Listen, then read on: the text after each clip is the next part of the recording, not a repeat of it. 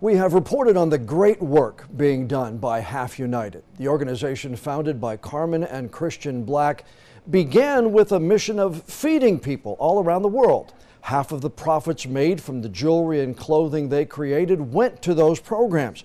Years later, they created a new way of fighting hunger by employing people in Haiti and Mexico and India.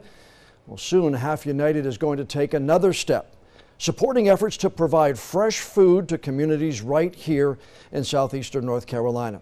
And co-founder and our good friend Carmin Black is in the studio to talk with us today, and it is so great to see great things happening with your organization. Thank you. Thank you so much for having us. This is really this is really special. Thanks a lot. Tell us about this next step that you're taking in the process. You know, I think for us, we just felt like, gosh, we have been in business for 13 years. We have been uh, feeding children and families in need. We've given over 2 million meals away to families in North Carolina, globally.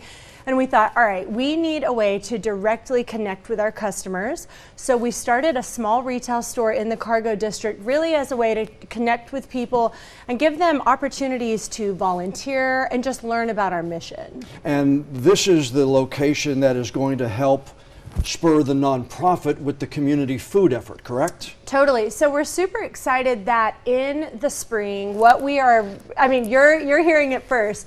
We are actually renaming the brand Carmin Black so that it sounds like a high-end designer brand. Um, and basically what we're doing is Half United is merging with a local nonprofit.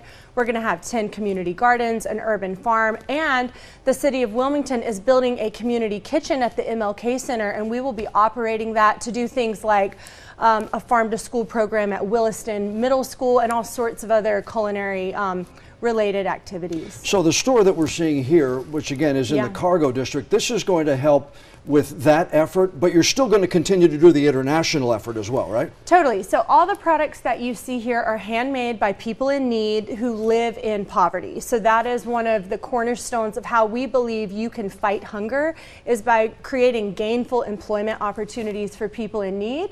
Um, and then Additionally, what's so cool is that every single product in our shop is going to give seven meals to children and families locally. And that's, that's awesome. what we're so excited about is we're keeping that help right here in Wilmington. What kind of an impact do you see coming out of this? You said you know you're going to be working with the community kitchen at the MLK Center. You're going to be doing community gardens. So this is really a farm to table kind of effort, right? For sure. I mean, the foods that we are growing are meant to bring the community together and really put food on people's dinner tables at night, during school hours. I mean, you should see our urban farm on 30th Street. Um, it's called Willowdale. Many people maybe have um, already been there and volunteered there. We need volunteers, um, please. Uh, but it's big and it's it's making a really big impact in what you know what are some of the worst food deserts in the state are right here in Wilmington. Had somebody talked to you when you started Half United 13 years ago now and said it would have grown to something like this, what would you have said at the time?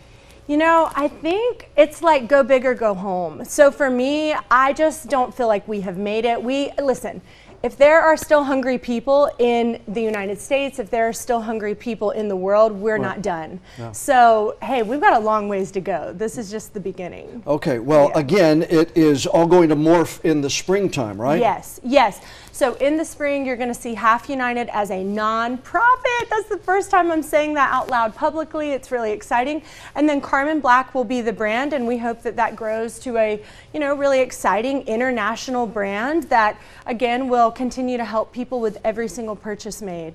Well, again, they need volunteers. So what you can do is uh, we'll have a link on our website uh, to halfunited.com where you could Again, shop where you could visit the store in the cargo district or volunteer as well. Always need volunteers for the effort to help fight hunger. For sure. Yeah, we do. Please come. It'd be great to, to meet you. It is always yeah. so good to hear about great things going on with Half United. Carmin, congratulations. Thank you, Jon. Best to everybody with the organization. Thanks for your time. Thank you so much. I appreciate it.